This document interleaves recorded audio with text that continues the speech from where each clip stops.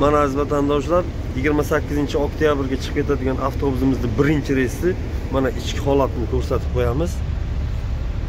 Mana ichki holati har doimdagidek bir xil avtobus.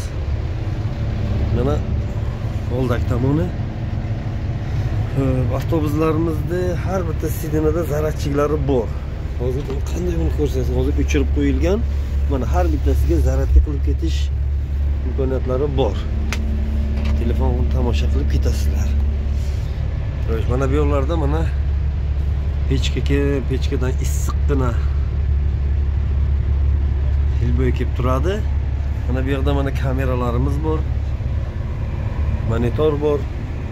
Tualeti bor и kunlari issiq suv sovuq suvlari bor. Bu avtobuslar 50 bitta odam oladi. Oldayda birinchi qatordan uchinchi qatorgacha yosh bolalik ayollar turadi. Agar kimni bileti mana shu birinchi qatordan uchinchi qatorgacha bo'lsa almashib orqa tomonga o'tiriladi.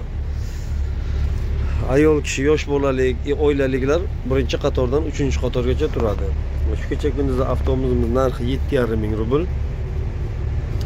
Ho'p avtobusimiz moskvadan chiqib ketguncha yo'lda ketguncha agar gay to'xtatib proverka qilgan vaqtida har bir post 500 rubldan olinadi.